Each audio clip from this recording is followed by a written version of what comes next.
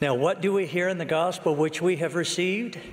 A voice И ныне что мы слышим в Евангелии, которое мы получили? Голос радости, голос милости с небес и голос истины из земли. Голос радости для живущих и умерших. Великорадостные вести. Братья и сестры, почти невозможно услышать эти слова пророка Джозефа Смита и не просиять улыбкой. В этих полных ликования словах Джозефа поистине заключена обильная и величественная радость от понимания великого плана счастья, уготованного Богом, нашим Небесным Отцом, ибо Он заверил нас, «Люди есть, дабы иметь радость».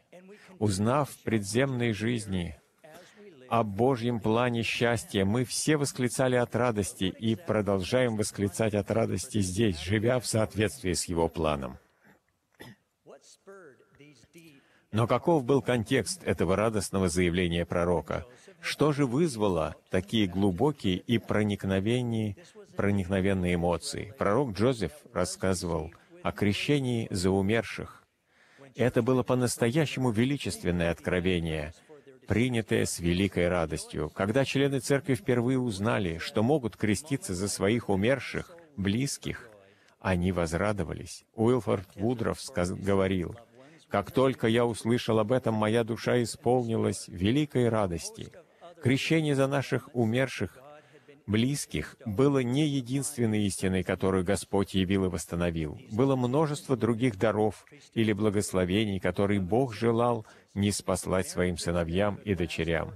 К этим другим дарам относились власть священства, заветы и таинства, браки, которые могут быть вечными, запечатывание детей к их родителям в рамках семьи Бога и, наконец, благословение возвращения домой в присутствие Бога, нашего Небесного Отца и Его Сына Иисуса Христа.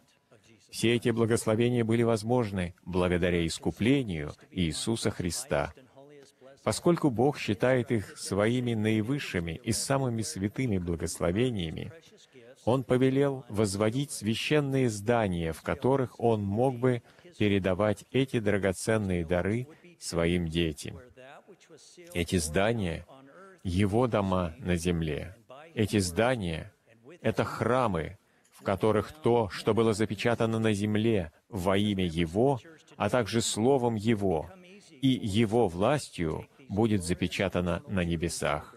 Мы, как члены Церкви, в эти дни можем начать относиться к этим прославленным и вечным истинам как к данности. Они стали для нас чем-то обыденным.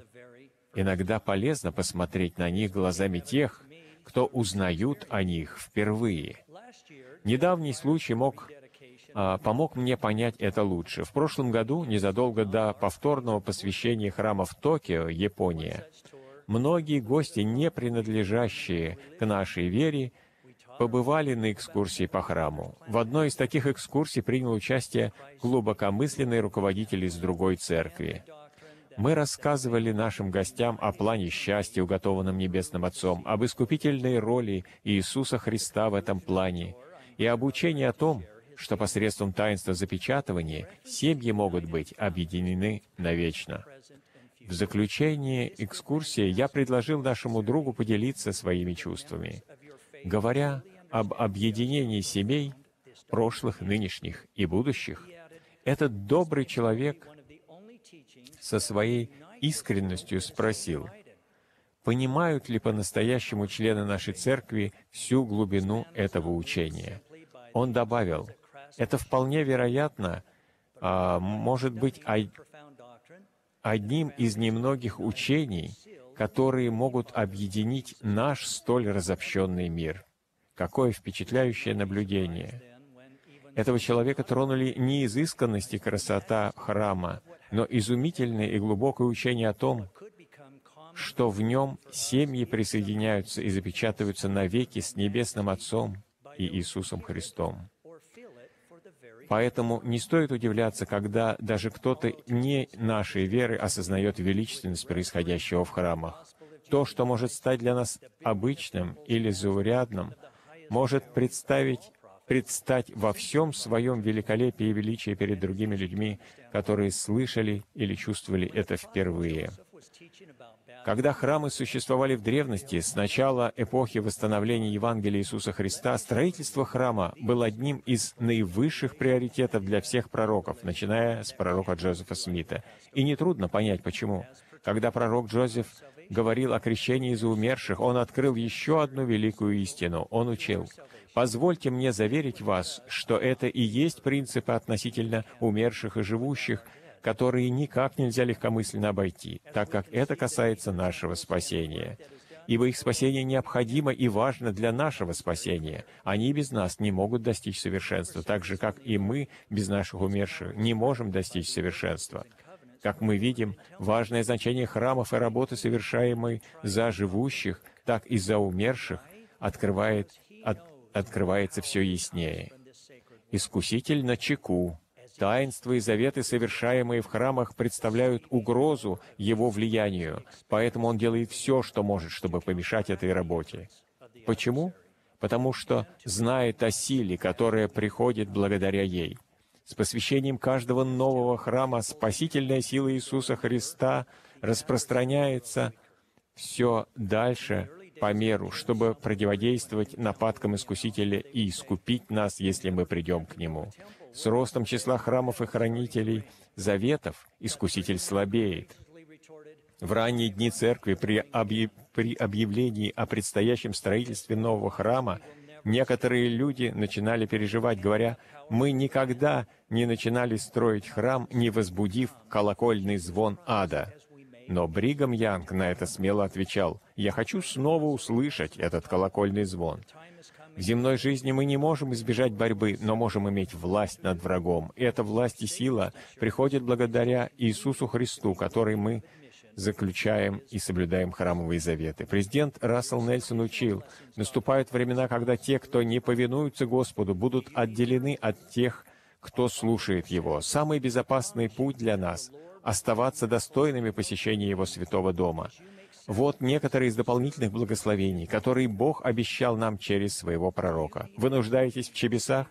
В чудесах? Наш пророк говорил, «Обещаю вам, что Господь станет совершать чудеса, необходимость которых Он видит для вас, по мере того, как будете идти на жертвы ради служения и поклонения Богу в храма. Вы нуждаетесь в исцелении укрепляющей силы Иисуса Христа? Президент Нельсон заверяет нас.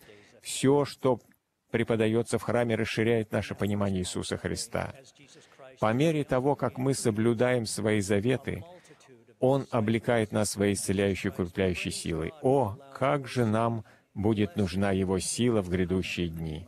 В первое вербное воскресенье, когда Иисус торжественно въехал в Иерусалим, множество Его учеников начало радоваться, всегласно славить Бога, говоря, «Благословен Царь грядущий во имя Господне».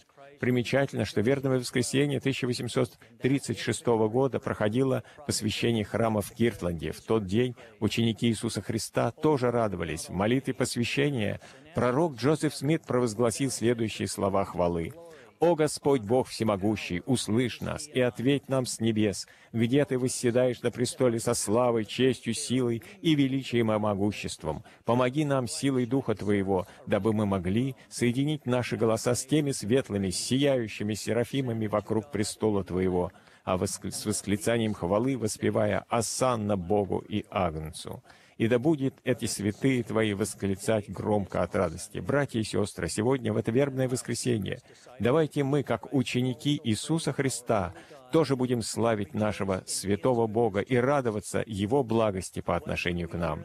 Что же мы слышим в Евангелии, которое мы получили? Поистине, голос радости. Я свидетельствую о том, что вы будете все больше и больше чувствовать эту радость, входя в святые храмы Господа, я свидетельствую о том, что вы будете ощущать ту радость, которую испытывает Он по отношению к вам. Во имя Иисуса Христа.